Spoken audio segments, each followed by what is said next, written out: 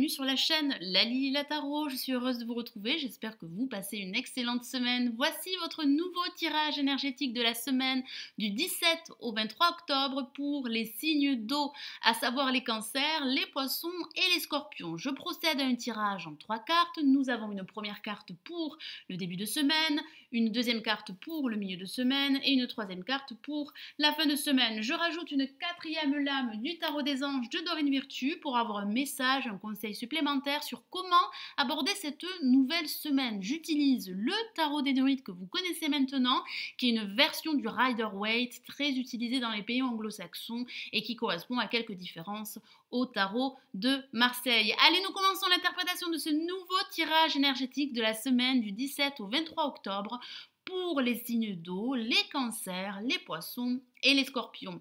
Alors, quelles sont les énergies pour ce début de semaine, nous avons le 9 de baguette que voici. Alors qu'est-ce que ça signifie? Ça parle de préparation pour certains d'entre vous, ça parle de vous montrer sur la défensive. Certains d'entre vous pourraient user de leur force par rapport à une situation bien précise, que ce soit au niveau professionnel, sentimental ou financier. Ça peut parler de prise de conscience. Certains d'entre vous pourrait se montrer prudent face à une situation. Ça peut parler d'inquiétude à propos de votre avenir, qu'il soit professionnel, sentimental ou financier. Ça parle également de persistance et de persévérance pour certains d'entre vous. Alors d'autres pourraient avoir subi une mauvaise expérience, que ce soit au niveau professionnel ou relationnel. Ici, le tarot des druides vous encourage. Cette lame signale que vous êtes maintenant prêt à avancer, à aller de l'avant. Développez votre force intérieure que vous aurez acquis avec sagesse et conscience, même si certains d'entre vous pourraient se méfier encore par crainte de refaire les mêmes erreurs.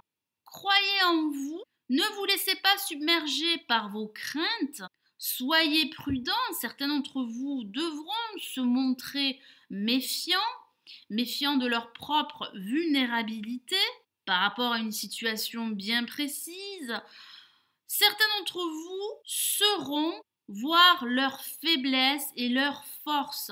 Vous allez devoir composer avec eux et persévérer par rapport à la progression de votre situation ou de votre projet, quel que soit le domaine. Vous allez relever un défi. Vous saurez surmonter les obstacles auxquels certains d'entre vous pourraient se confronter.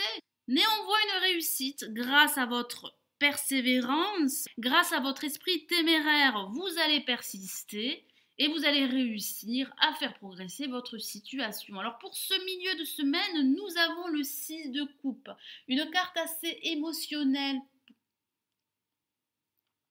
Alors certains d'entre vous pourraient ressentir de la nostalgie pour ce milieu de semaine. Ça pourrait parler du passé qui pourrait remonter à la surface. Ça parle également de bienveillance, de sentiments nostalgiques, de souvenirs amoureux. Pour certains d'entre vous, ça peut parler également de partage et d'une réconciliation.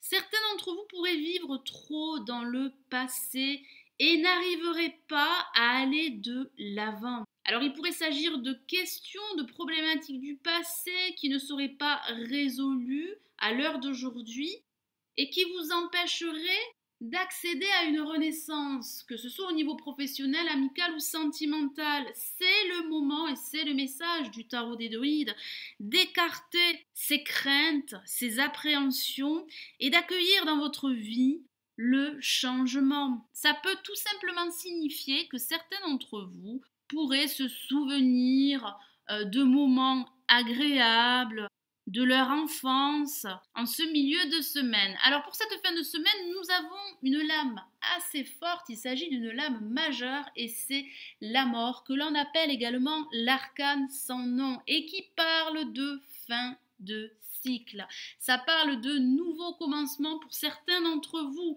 Vous serez à l'aube du changement. Ça parle de transformation et de changement radical pour certains d'entre vous, que ce soit au niveau professionnel, sentimental ou sur le plan financier. Certains d'entre vous pourraient être à la croisée des chemins. Ça parle bien de la fin d'un cycle, alors ça peut parler effectivement de la fin d'une relation sentimentale ou professionnelle ou d'une conviction que votre vie doit être changée.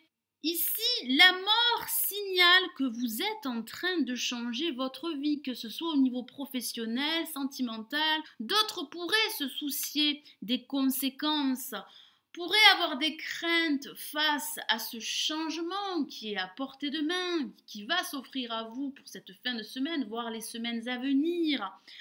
Certains d'entre vous pourraient avoir le désir de mettre fin à une relation sentimentale et vous ne supporteriez pas l'idée de blesser votre partenaire. Ça peut parler de mettre fin à une relation professionnelle. Ça parle également de ce désir de changer quelque chose dans votre vie afin de révéler votre vrai potentiel.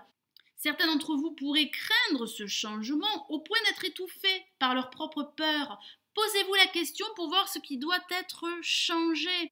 Acceptez les changements, dissipez vos doutes, vos craintes, écartez-les, persistez, soyez persévérants.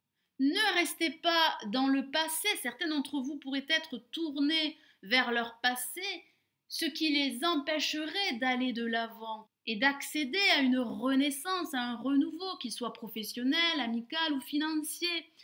Accepter de faire table rase tournez la page et faites le deuil de votre passé, qu'il soit affectif, professionnel ou amical. Alors j'ai rajouté une quatrième lame du tarot des anges de Dorine Virtue et nous avons pour vous la lame le 6 de terre que voici. Alors je vous lis son message, recevoir des dons sous forme d'argent, de temps ou d'efforts, nouvelles opportunités de carrière, recevoir un prêt ou rembourser des dettes. Ça parle bien de nouvelles opportunités, de changements, d'occasions nouvelles qui pourraient s'offrir à vous.